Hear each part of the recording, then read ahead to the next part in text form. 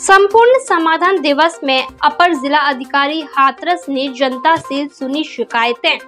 सासनी तहसील में माह के प्रथम शनिवार को संपूर्ण समाधान दिवस में अपर जिला अधिकारी वसंत कुमार अग्रवाल, अपर पुलिस अधीक्षक, उप जिला अधिकारी विपिन कुमार शिवहरे ने जनता से सुनी शिकायतें, जिसमें 38 शिकायतें आई और मौके पर आठ का निस्तारण हुआ।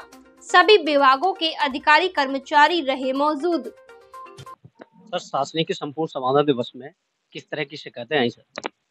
देखिए जैसा कि आप देख ही रहे हैं तहसील दिवस की अभी अभी ये कार्रवाई हमारी चल रही है और जो शिकायतें मुख्यतः प्राप्त हुई हैं वो राजस्व विभाग से संबंधित हैं।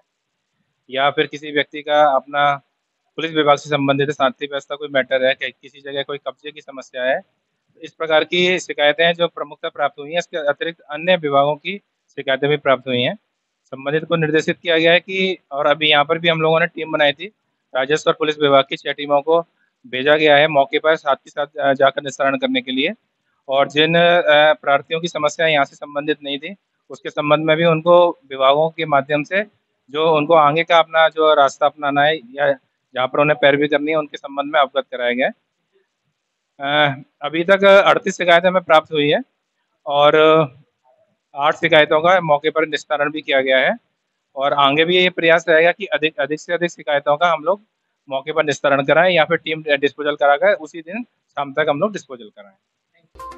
अब आपका पसंदीदा channel TV thirty India, Uttar Pradesh एवं उत्तराखंड के प्रतिष्ठित केबल नेटवर्कों एवं ओ प्लेटफॉर्मों के साथ साथ गूगल प्ले स्टोर पर भी उपलब्ध है।